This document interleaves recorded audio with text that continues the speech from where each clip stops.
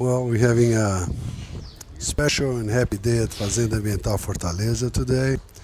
We have the visit of uh, Campos Coffee from Australia and visit of Johan Nyström from Sweden uh, and the, the buyers of specialty coffee.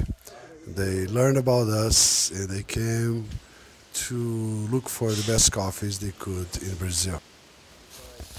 This morning we went to Marco's farm, uh, which is just here, uh, and uh, that was really, really interesting to see because uh, they grow coffee side by side with all other forms of trees and bushes, and and you can really see the the wildlife as well. Uh, so you can have one with the other because usually you just have huge fields of coffee and nothing else, but here you have really the the whole thing with uh, with animals and different type, types of uh, crops and uh, it was just it was really really good to see that you can do this without inflicting the the environment and I think also it will it will give a much better coffee.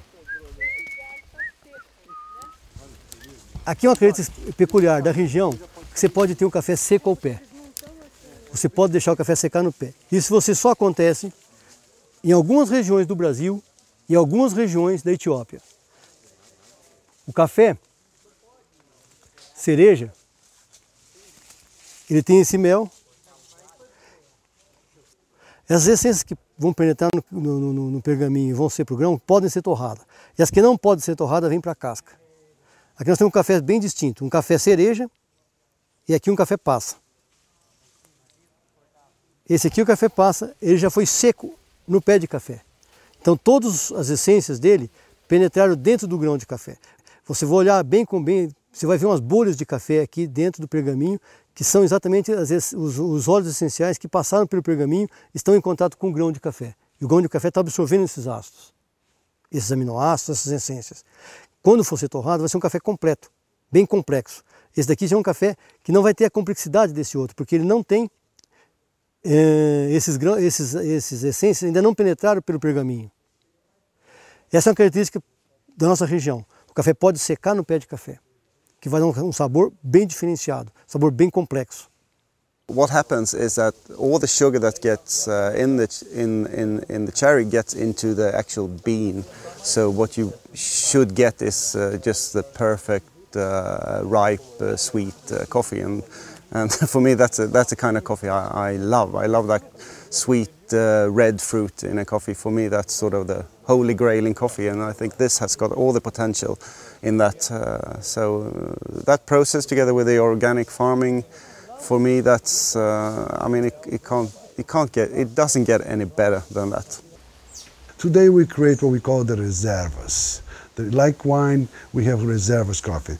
And we have several families who works with us. We have the Reserva from Alcindo, we have the Reserva from Lauro, we have Reserva from the Minucci family, or we have a Reserva from the Rosettos family, or the Facconi families. You know, it's just funny, it's all Italians because in this region you know, the Italians, after abolitions, the Italians came to work on the coffee. Today, they either work here and there you know, you know, partnership with us, or we partners in their farm and help them to really incentive them to come up with the best coffees.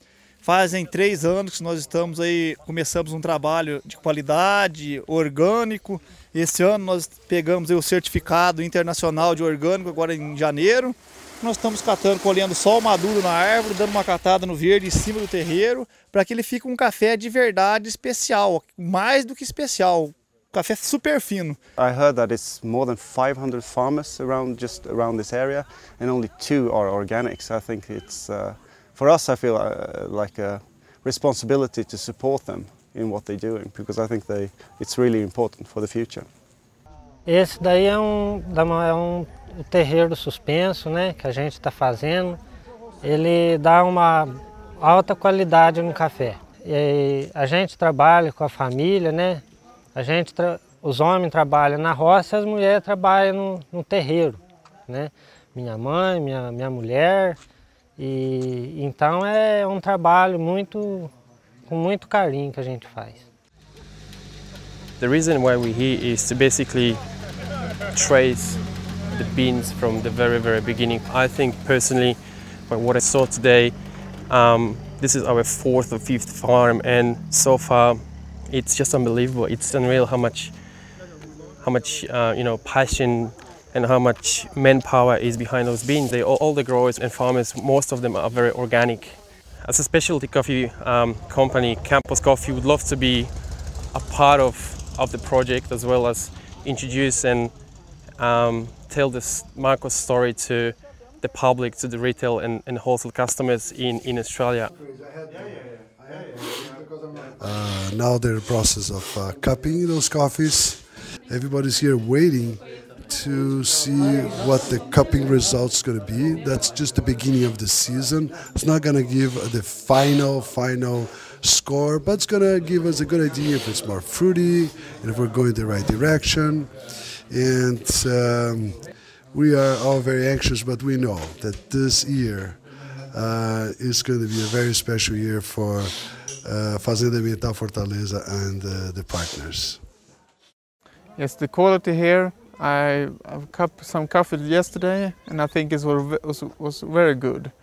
And I think if if uh, the growers can take care of the of the soil and producing and pick when the coffee is is is ripe, then I think this region can produce some marvelous coffees.